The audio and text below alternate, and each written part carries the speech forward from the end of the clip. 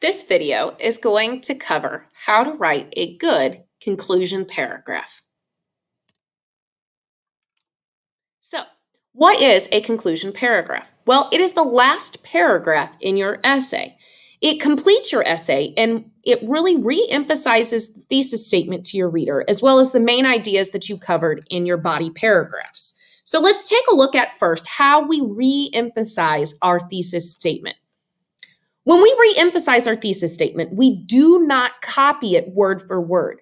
We make the same argument, but we use different words. So, for example, if my thesis statement was When I first found out that I was diagnosed with cancer, I took two important steps to fight the disease.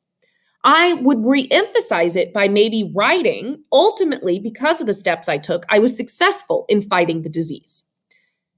I'm focusing on the main argument from my thesis and I'm not repeating it word for word.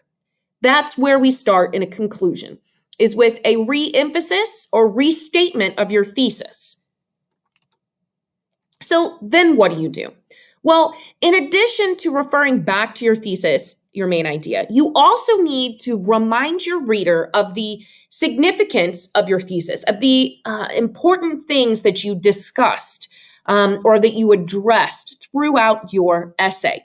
So, some of the ways that you can do this are how and why the topic is important. You could tell your reader that. You could tell your reader how the topic might affect you or other people, or you can tell your reader what can be learned from the topic. So, let's look at some examples of how we might incorporate information like that in a conclusion. Our re emphasized or restated thesis is ultimately because of the steps I took, that I was successful in fighting the disease. Um, if I were to say, I was able to become healthy enough to attend my daughter's wedding, and I no longer worried about dying. Others suffering with cancer can learn an important lesson from my experience. Don't give up no matter how hopeless things may seem, and always get a second opinion from another doctor. So here we can see that the writer reemphasizes and restates the thesis, points out the steps they took to fight the cancer, the things that they discussed in their body paragraphs, and then ended with talking about the importance of what they learned and what lesson the reader can learn. For this one, um, let's say our thesis was there were several factors that caused my family to make the difficult decision to immigrate to the United States. So the first thing we do is re emphasize or restate the thesis. So that is the decision to move to the United States was a difficult one for my parents to make. Now we're re emphasizing again what our thesis said as well as what we covered in our body paragraphs. Though I was angry with their decision at the time, I understand now that the poor economy and political instability of my country forced them to immigrate. Lastly, we really conclude with a lesson that the writers can learn, or that the readers can learn. Through this experience, I learned that one simply cannot control all of life's circumstances. One must learn to deal with tough situations as they come and work to be successful regardless of one's location. So, other than restating your thesis, re kind of going through those main points from your body paragraph, connecting to the reader and talking about a lesson they can learn or a lesson you learn. You also have some other options that you could put to enhance your conclusion paragraph. You could add in a prediction, a recommendation, or a quotation. So let's take a look at a prediction.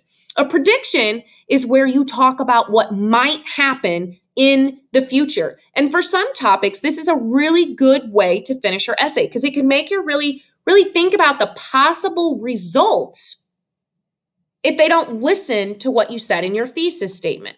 So, for example, if my thesis is a program to reforest parts of Haiti is urgently needed, my conclusion with a prediction could read like this Finally, the importance of beginning a program to reforest parts of Haiti will be an important step in making this country more economically self sufficient.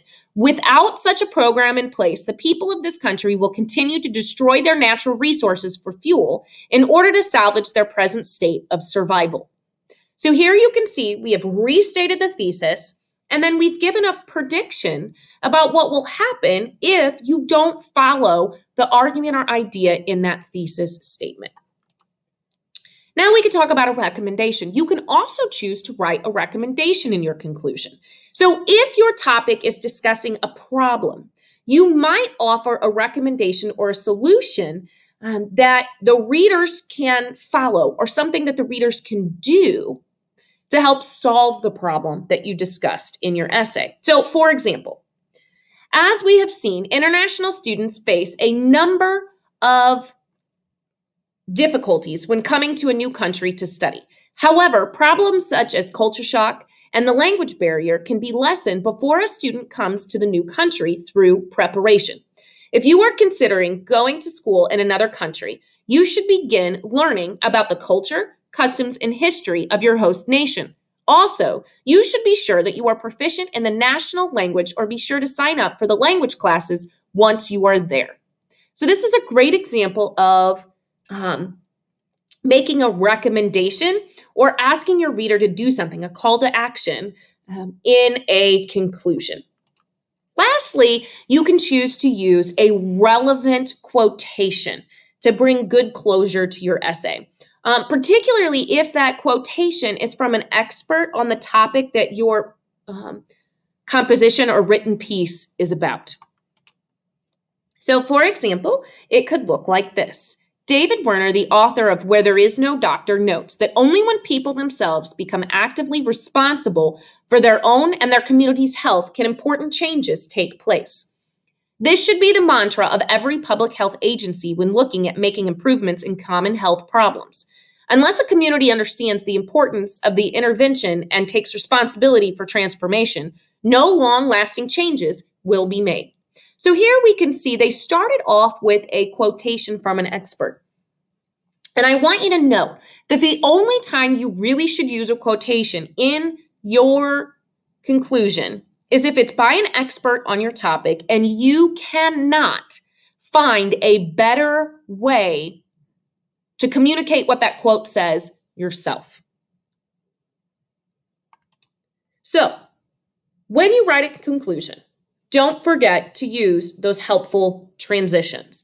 In conclusion, in summary, thus, therefore, to conclude, in short. If you put that transitional phrase at the beginning of your sentence, don't forget to put a comma after it and make sure that you use these so that your writing flows and your eye your readers can connect your ideas as you want them to. All right. That is how you write a good conclusion. Make sure you end with a bang. Your goal is to make the last words that your reader reads thought provoking so that they continue to think about your topic, your words, and your essay.